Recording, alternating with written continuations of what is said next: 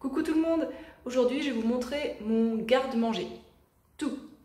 Ce qui est à température ambiante, ce qui est au frigo, ce qui est sec, tout ça, tout ça. On va faire la cuisine à la fin, mais pour l'instant, on va commencer par cette étagère. Alors, tout là-haut, on a des melons. Cette saison, donc j'en profite à fond. Tous les melons, je les aime tous. Là, on a une grenade. Euh, à côté, là, on a des dattes. Euh, alors ça, c'est des graines et des noix. Je vous avoue que je mange très rarement et je les garde pour les invités. Ensuite, les bananes. Alors aujourd'hui, j'ai été trop heureuse parce que mes bananes au supermarché coûtaient 1 euro le kilo. Alors j'en ai acheté tout plein. J'ai rempli mon sac à dos plus un sac euh, en bandoulière. C'est tout ce que j'ai pu prendre. Alors celles-là, oui, elles sont mûres. Elles sont mûres. Regardez comme elles sont jolies. Parfait. Alors que celles-là, ah, pas mûres. Celles-là, elles constipent, elles sont âpres, elles sont pas sucrées, elles sont pas très bonnes. Et celles-là, elles sont excellentes pour euh, le transit. Elles donnent pas la diarrhée non plus, mais elles sont bonnes pour le transit. Elles sont sucrées. Parfaites. Bon, on va descendre maintenant. Il y a un concombre là, un peu de gingembre. Alors là-dessous, je garde un truc à l'ombre pour pas que ça germe. Euh, j'ai un reste de pommes de terre là. J'aime bien les pommes de terre aussi. Alors l'ail, je mange jamais cru. Euh, Paul aime bien acheter de l'ail pour euh, ses sauces. Hein. Moi, j'aime bien manger de temps en temps, mais cuite. Parce que le souci avec l'ail cru ou l'oignon cru, c'est que c'est irritant pour euh, l'intérieur de notre corps. Il vaut mieux les manger cuits. C'est mon avis, mais après, vous faites ce que vous voulez. Hein. Hum. Ensuite, cet étage-là, qu'est-ce qu'on a ici? Là, on a des pâtes de blé. Là, on a des nouilles de riz, du sel gris, la farine d'un petit moulin local. Là, on a de la euh, fécule de pommes de terre. Ça peut être utile dans les crêpes ou des choses comme ça pour épaissir les sauces. Alors ça, c'est pour Paul. Il aime bien utiliser ses conserves de tomates pour ses sauces. Là, il y a une sauce toute prête, c'est sauce arrabbiata. Voilà. Bombino. Euh, du sucre pour confiture. À ce propos, il y a quelques confitures ici, mais il n'y a pas tout. Hein. Ça, c'est de ma mère. Ça, c'est... Euh, du commerce. Là, on a des légumineuses, lentilles vertes, lentilles corail, lentilles blondes, pois chiches. Alors, je mange assez rarement en fait des légumineuses. Hein. Alors, mes préférés, c'est les pois chiches cuits euh, chez moi dans la cocotte minute pendant, on va dire, 90 minutes avec du sel. C'est trop bon. Ensuite, euh, dernier étage. Ah oui, on va pas zapper lui, hein. magnifique.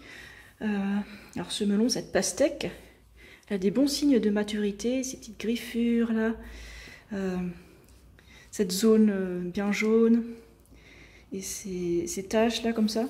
Normalement, c'est bon signe. Alors, à gauche, là, on a du sucre de plusieurs marques, hein, peu importe.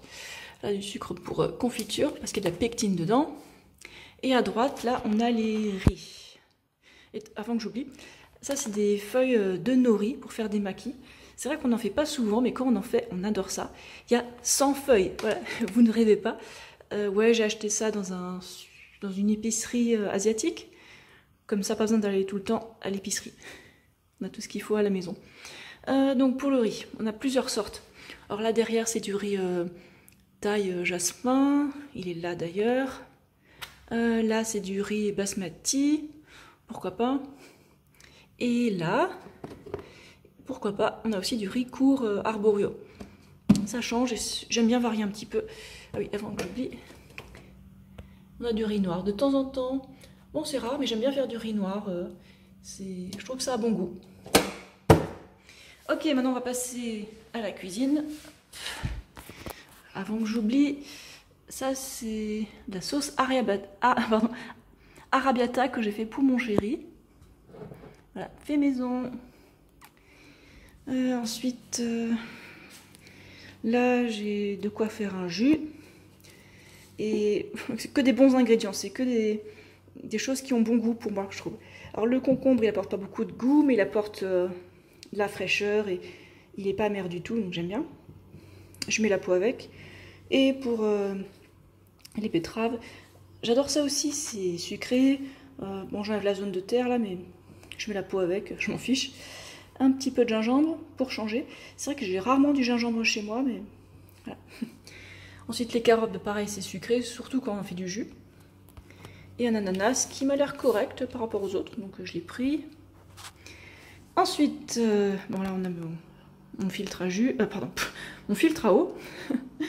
et là, c'est un melon que j'ai mangé aujourd'hui, juste après le jus.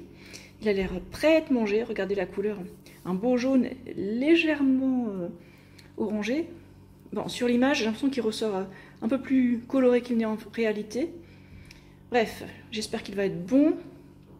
Et alors, qu'est-ce qu'on a sur le côté? On n'est pas au frigo encore, le frigo il est à côté. Alors ça c'est pour Paul. De temps en temps il aime frire des trucs à l'huile, genre des champignons et de l'ail. Moi j'en utilise pas, hein. jamais jamais. Ensuite sauce soja, ben ouais, on en utilise beaucoup. Euh, bon il y a juste des appareils, euh, c'est tout, il n'y a plus rien à manger là. Bon, maintenant on va passer enfin au frigo. Alors tout là-haut d'abord, pour pas que j'oublie, bah, il y a des baies euh, pour les smoothies. Ensuite, euh, bah, on a des dattes ici. Paul aime bien euh, prendre un paquet de dattes comme ça pour faire un smoothie qu'il dénoyote bien sûr. donc c'est pour le matin, ça lui fait un petit déj. Derrière on a des pruneaux d'agent. Là, c'est des dattes. Moi, j'aime bien ce genre de dattes. Donc, c'est aussi des Deglenknour. Mais elles sont toutes moelleuses. J'adore. Bon, je les conserve au frigo parce que comme elles sont moelleuses, je veux qu'elles se conservent le mieux possible. Euh, gnocchi, hein. c'est bon. Cela, c'était pas cher en plus. Là, il y a une salade que je viens d'acheter. Ça va être pour aujourd'hui, sûrement. Ah oui, j'avais pas prévu de, vous montrer ça. Alors, je fais de l'eau de romarin. Bah, en gros, c'est je boue du romarin. Euh, dans de l'eau pendant je sais plus combien de temps, peut-être 10 minutes. Et je mets sur mes cheveux et je suis en train de tester. Hein. Je vais pas commenter pour l'instant parce que je suis encore en train de tester. Je vais pas faire un tuto au bout de deux utilisations, hein, comme certaines le feraient peut-être. Euh, ensuite, la B12. Donc c'est une solution euh, liquide qu'on peut prendre sous la langue ou en injection. Ensuite la porte, bon, il y a encore euh, une confiture. J'aime bien la confiture de fraises avec le riz. Et en dessous, bah, ketchup. Bon, c'est pas la sauce que j'utilise le plus souvent, mais c'est pratique.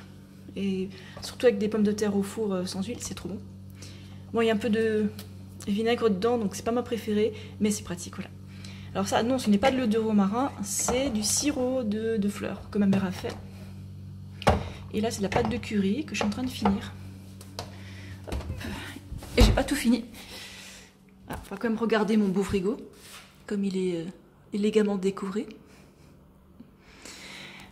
Euh, et ensuite là-haut, alors tout là-haut c'est surtout des trucs à Paul. Bon, la soja liquide, je suis sur la pointe des pieds là, c'est trop grand. Euh, la poudre de curry derrière. Là, on a les bouillons de légumes en cubes. Euh, là on a du sucre, le même qu'à côté. Hein. Là c'est des feuilles de menthe pour faire des tisanes. Paul aime bien se faire ça en boisson chaude pour euh, ne plus boire de café, parce que il veut plus boire de café. Oh, il est salté, je suis désolée. Et là, on a un peu de sauce soja aussi. Et on va passer à côté. Ok, là, vous avez euh, les mêmes tomates en conserve qu'il y avait à côté. Ah, c'est Paul qui aime bien ça. Là, on a des confitures, maison et pas maison.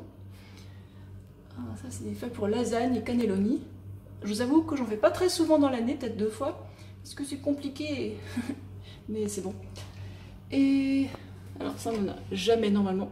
Et Paul en a acheté euh, il y a 10 jours pour se faire euh, la nourriture pour euh, ses grandes sorties à vélo, très grandes sorties. Et là on a du riz court. Voilà, et c'est tout. On a fait le tour. Ah non, il y a encore les épices là. bon, il n'y a pas grand chose, hein, vous voyez. cannelle, classique. Hein. Ça, j'ai testé, j'ai pas d'habitude. C'est des épices pour tarte flambée euh, qui est à mon supermarché. Voilà. Bon, c'est un goût particulier, tout le monde aimera peut-être pas, mais ça passe, c'est bon. Ça, c'est une copine qui m'a apporté des feuilles de laurier. Euh, en gros, ça, c'est de la poudre de curry avec euh, un peu d'herbe et du sel. de Provence, vous connaissez. J'ai rajouté dedans du romarin que j'ai cueilli moi-même. Voilà, mélange d'épices. En gros, c'est euh, piment et poivre. C'est bon. Euh, voilà, poivre et sel derrière. On est encore en train de finir euh, du sel euh, iodé normal. Et on ajoute du poivre en grain. Voilà, la seule marque qu'il y a chez nous. Et cette fois-ci, c'est tout. Et je suis trop fière parce que j'ai enfin nettoyé à fond tous les appareils qu'on a à la cuisine.